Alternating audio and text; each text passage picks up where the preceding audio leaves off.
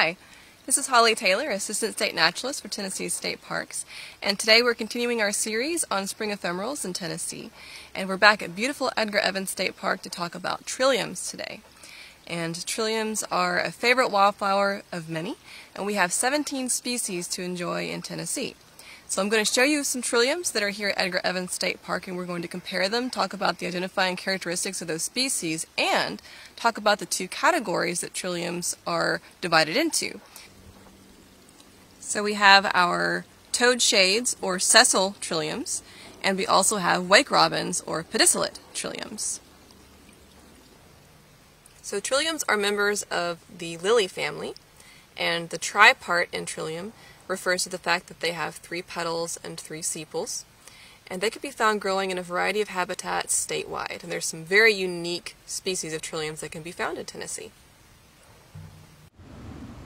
So this is a good example of Sweet Betsy trillium, or Trillium cuneatum. And this is considered a toad shade.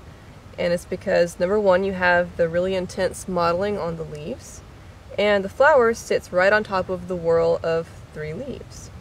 And the most notable thing about Sweet Betsy when you get close to it is the fragrance. It has an amazing, sweet, spicy, fruity, mouth-watering fragrance that you can actually pick up from a good distance away. And a way to tell visually which trillium you have is to open up the flower and look at the stamens. And in Sweet Betsy, oh, we got a little spider hiding in there. In Sweet Betsy, the stamens are blunt tipped. They have no projections on the end of them, and that's how you know you have a Sweet Betsy trillium.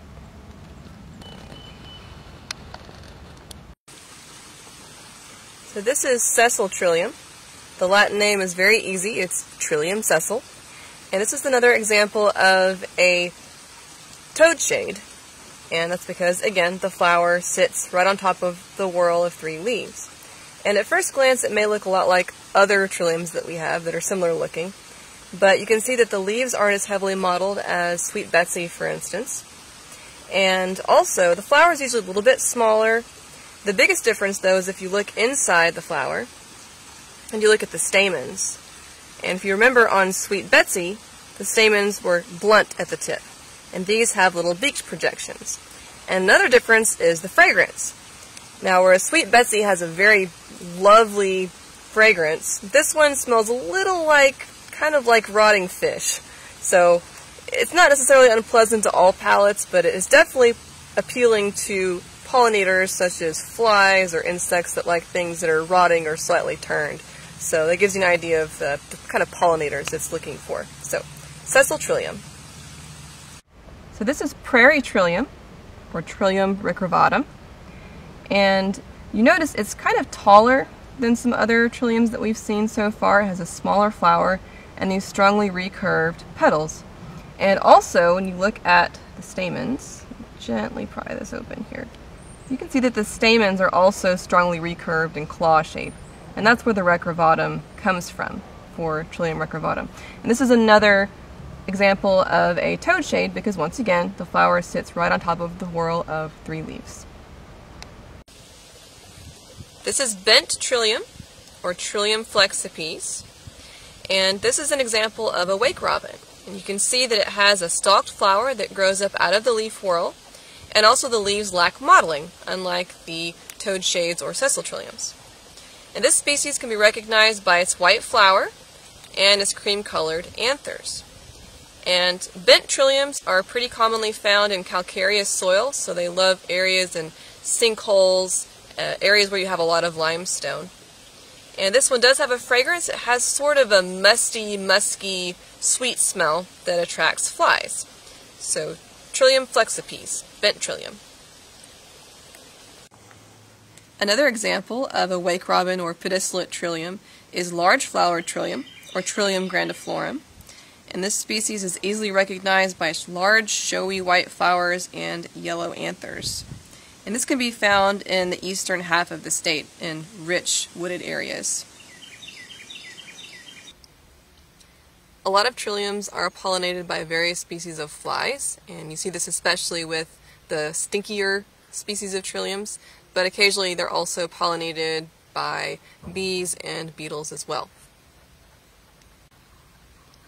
So when it comes to seed dispersal, trilliums rely on ants, much like we talked about with Dutchman's breeches. And there's a term for this, and it's called Myrmecochory. And as many as one third of flowering woodland plant species in the United States rely on ants for seed dispersal. And they have this attachment to the seed called an elaiosome, and it's fatty and nutritious, and it provides food for ants in early spring when there isn't much else to eat. And so the ant takes the seed back to its nest, and it eats the elaiosome and discards the seed. And in an ant colony, they have a special room set aside for their trash, basically. And it's a compost heap, really, and it makes the perfect place for a seed to germinate. And so, as far as a short distance seed dispersal, ants are crucial for so many of our spring ephemerals. But there are other species that will take seeds further away from the plant, and one of those is the yellow jacket, which will carry it further, and occasionally deer will browse and will also move the seeds further away. And they're really important for uh, introducing the species to areas that don't have it. I hope you've enjoyed today's video on trilliums, and I hope that now you know the difference between a wake robin and a toadshade. And thank you so much for joining us today. As always, leave questions in the comments below, and we look forward to seeing you in our next video. Thanks for watching.